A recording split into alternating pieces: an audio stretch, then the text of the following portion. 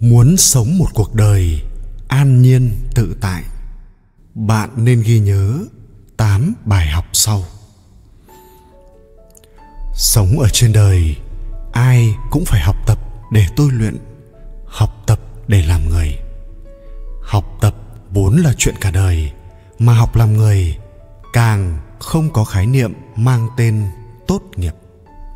Suy cho cùng, người ta mất cả đời học tập cũng chỉ muốn làm cho cuộc sống của bản thân trở nên tốt đẹp hơn.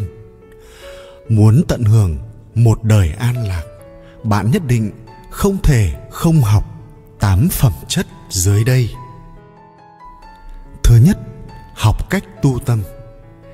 Tính cách đàn ông sẽ ảnh hưởng tới sự nghiệp mà anh ta xây dựng. Tính cách phụ nữ lại ảnh hưởng tới hạnh phúc hôn nhân.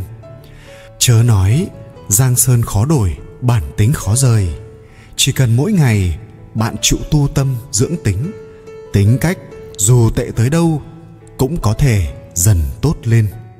Tính cách là thứ quyết định thái độ và thái độ chính là điều làm nên một con người.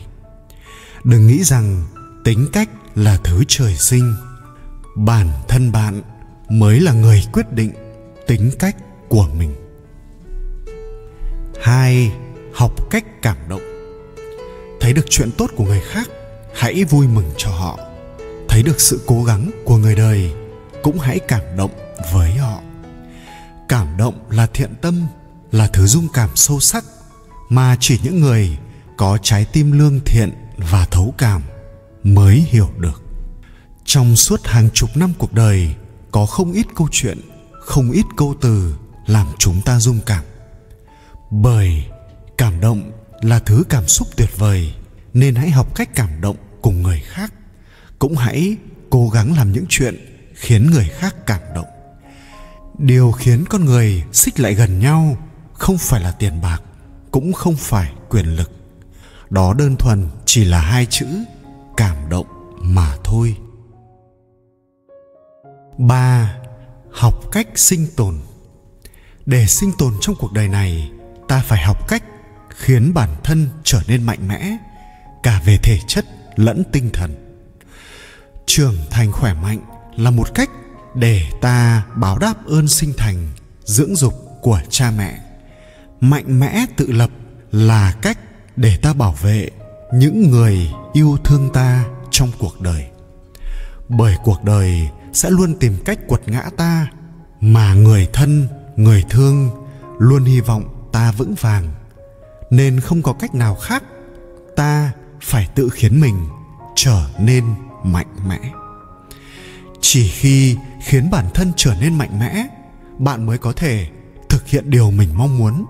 Sinh tồn không phải là thứ cầu may, sinh tồn luôn là một lựa chọn. 4. Học cách nhẫn nại. Cổ nhân có câu Nhẫn một chút sóng yên gió lặng, Lùi một bước biển rộng trời cao. Nghĩa là kiên trì nhẫn nại trong mọi khoảnh khắc Thì mọi khó khăn sẽ qua đi.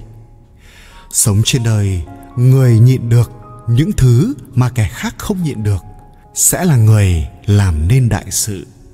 Học được chữ nhẫn, gặp khó khăn sẽ luôn hóa giải được. Không vì hấp tấp mà hỏng việc giúp ta luôn thấy rõ thiện ác tốt xấu trên cuộc đời này. Năm, học cách nhận sai. Đứng trước lỗi lầm, bản chất của mỗi con người mới được bộc lộ hoàn toàn. Khi có lỗi, người tử tế sẽ sẵn sàng nhận sai, còn kẻ ti tiện thì chỉ tìm cách đổ cho người khác. Kỳ thực, không nhận sai lại chính là sai lầm lớn nhất của đời người. Nhận sai trước bất kỳ ai, dù là con cái, người thân hay người ngoài, luôn là điều cần làm khi chúng ta mắc lỗi. Chân thành nhận lỗi chẳng những không lấy của ta điều gì, mà trái lại còn làm giá trị của ta tăng lên trong mắt người khác. 6. Học cách thấu cảm. Muôn điều thị phi, muôn vàn tranh chấp trong cuộc đời Âu cũng đều bắt nguồn từ lòng ích kỷ. Lòng cảm thông cũng chẳng phải phẩm chất gì cao cả cho lắm. Nó chỉ là điểm xuất phát của lòng tốt cơ bản nhất trong linh hồn một con người. Để có được cuộc sống an lạc điều cần nhất là học cách cảm thông và thấu hiểu. Bởi vì thấu hiểu cho nên mới có thể từ bi. 7. Học cách buông bỏ. Buông bỏ kỳ thực chính là một kiểu mạnh mẽ. Trong cuộc đời, có nhiều thứ cũng giống như cát. Dù có cố nắm chặt tới đâu, Chúng vẫn sẽ lọt qua kẽ tay mà bỏ bạn. Học cách buông bỏ những thứ không thuộc về mình Cũng giống như rũ bỏ gánh nặng mà bạn tự vác lên vai đau khổ nhớ thương cũng sẽ chỉ là trong chốc lát đặt xuống được chấp niệm, bạn mới thấy cuộc sống thảnh thơi và an nhiên tới nhường nào 8. Học cách hòa nhã Tâm tính trở nên hiền hòa được coi là thành quả lớn nhất của quá trình tu tâm. Đời người chỉ khi hiền hòa mới có thể đổi lại an lạc. Cứ mãi cứng rắn, chẳng biết nhu hòa, sau cùng vẫn sẽ chỉ chịu thiệt. Hãy để cho tâm hồn được thư giãn, giải trí. Người cố chấp mang trong mình từ trái tim tới tính cách đều cứng rắn, giống như sắt thép. Để họ học được cách cư xử ôn hòa, nhã nhặn, quả thực khó khăn, chẳng khác nào ngựa hoang. Nhưng tới khi học được điều này, họ mới thấy kỳ thực cuộc sống chẳng cần lúc nào cũng phải gồng mình lên như trước đây họ đã từng làm.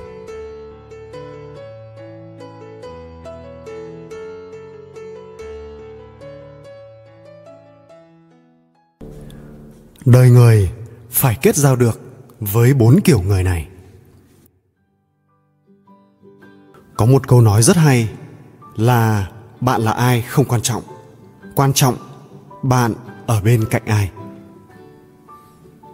Sau đây, tôi sẽ giới thiệu với các bạn 6 kiểu người không nên hợp tác 7 kiểu người không nên kết giao và bốn kiểu người chúng ta cần kết giao.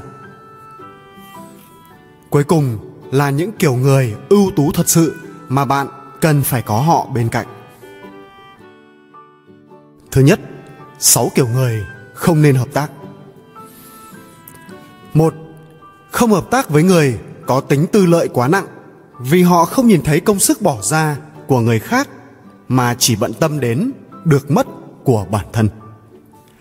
hai, Không hợp tác với người mà trong lòng không có sứ mệnh gì vì họ sẽ lấy việc kiếm tiền làm mục đích sống. Mẫu người thứ ba, không hợp tác với người không có tình người, vì ở cạnh nhau sẽ không vui vẻ. Mẫu người thứ tư không hợp tác với người có suy nghĩ tiêu cực, vì họ sẽ làm tiêu hao năng lượng tích cực trong bạn. Năm, không hợp tác với người không có nguyên tắc sống, vì đối với họ, giành được lợi ích chính là nguyên tắc sống. Mẫu người thứ sáu, chúng ta không nên hợp tác với người vô ơn, vì người vong ơn thì tất sẽ phụ nghĩa. Bảy kiểu người nhất định không nên kết giao. Một, người bất hiếu với cha mẹ thì tuyệt đối không thể kết giao. Hai, người sống khắt khe cũng không thể kết giao, bởi họ khi nói chuyện thường không khiêm tốn, nói mà không suy nghĩ. Sống không quân tử, xử lý việc không quan tâm tới cảm nhận của người khác, luôn làm tổn thương người khác loại người này làm sao chúng ta có thể kết bạn được ba Người tính toán chi ly không thể kết giao. Chuyện gì cũng tính toán chi ly, lúc nào cũng lo sợ bản thân sẽ phải chịu thiệt thòi. Hành vi luôn mở ám, thủ đoạn bất chính, giống như phải chiếm được lợi ích rõ ràng mới khiến họ cảm thấy yên vui. Loại người này kết giao thì có gì tốt? 4. Người không biết kính trọng người khác không thể kết giao. Tục ngữ có câu, có qua mà không có lại, chính là vô lễ. Chuyện gì cũng phải có qua, có lại. Anh kính tôi một thước, tôi kính anh một trượng. Phải dùng cả dòng suối để báo đáp ơn nhỏ như giọt nước. Đối với kẻ tiểu nhân ích kỷ, chỉ biết nhận lấy thì cần gì phải kết giao.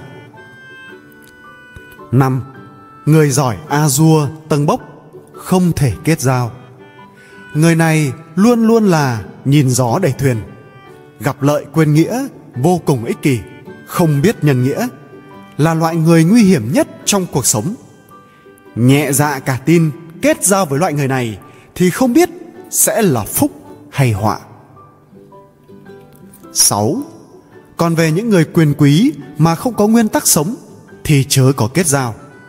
Làm người cần có tôn nghiêm và nhân cách của bản thân mình. Dù là quan lớn hay bình dân, dù là người giàu sang hay kẻ nghèo hèn, đều là tấm thân bằng máu thịt cả. Không thể chỉ bởi ngưỡng mộ mà mong người được hơi thở của người ta, cũng không thể thấy mình ở trên người khác mà bảo họ phải khom lưng uốn gối trước mình nếu giữa hai bên đã có sự khác biệt to lớn như vậy thì hà tất phải kết giao 7. Người không có lòng thương người không thể kết giao. Họ hoặc là tâm địa độc ác hoặc là ích kỷ vô cùng. Làm bạn với kiểu người này giống như làm bạn với sói. Đời người nhất định phải kết giao được với bốn kiểu người này. Một, hãy kết giao với người yêu mến bạn bởi trong lúc bạn nghèo khổ vấp ngã họ sẽ an ủi và giúp đỡ bạn hai, hãy kết giao với một người có năng lượng tích cực. Trong lúc tâm trạng tồi tệ, họ sẽ ở bên cạnh bạn, cổ vũ bạn. Mẫu người thứ ba, hãy kết giao với một người sẵn lòng dẫn đường cho bạn. Tự nguyện làm đá lót đường cho bạn, đưa bạn vượt qua buồn lầy, sương mù. Mẫu người thứ tư, hãy kết giao với một người bạn chịu phê bình bạn, luôn luôn nhắc nhở bạn giám sát bạn, để bạn luôn phát hiện ra khuyết điểm của mình.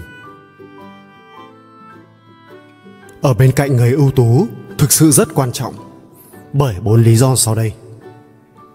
Một, trong thế giới của người bình thường, những chuyện mang ra bàn luận toàn là chuyện vô bổ. Tiền kiếm được là tiền công, cái mà họ suy nghĩ là ngày mai.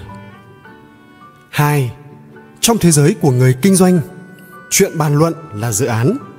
Tiền kiếm được là lợi nhuận. Cái mà họ suy nghĩ là năm sau. Ba trong thế giới của những người có sự nghiệp chuyện bàn luận là cơ hội. Tiền kiếm được là sự giàu có và cái suy nghĩ đến là cuộc sống khi về già. 4. Trong thế giới của người trí tuệ, chuyện bàn luận là sự cho đi, cái để giao lưu là sự cống hiến.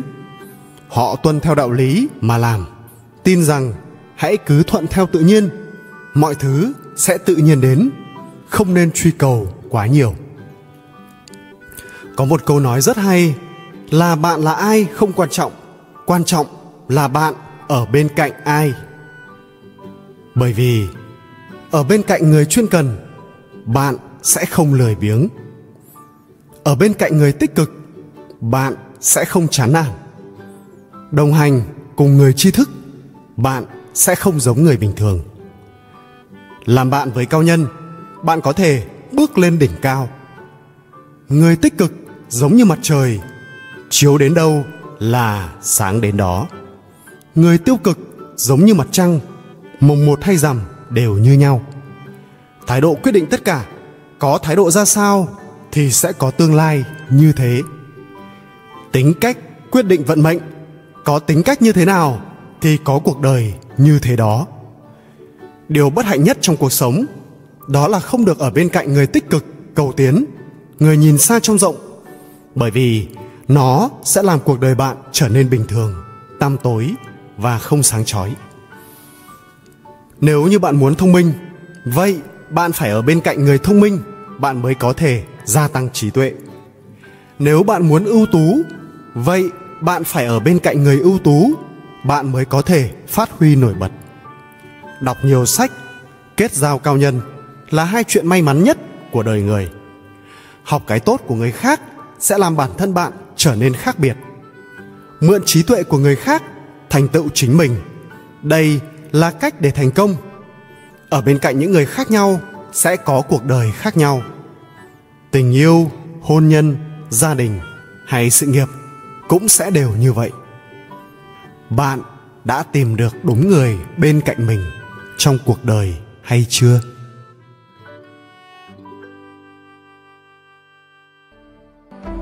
Cảm ơn các bạn đã theo dõi video. Hãy nhớ bấm đăng ký để theo dõi thêm nhiều video mới. Chúc các bạn luôn vui vẻ.